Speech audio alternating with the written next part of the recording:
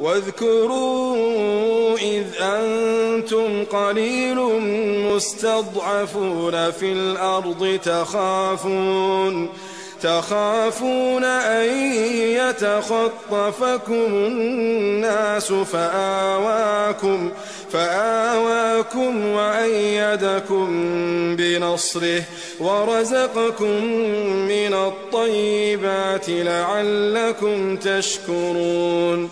يا أيها الذين آمنوا لا تخونوا الله والرسول لا تخونوا الله والرسول وتخونوا أماناتكم وأنتم تعلمون واعلموا أنما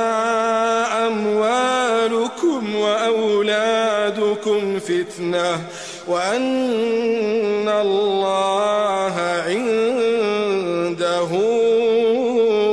أجر عظيم.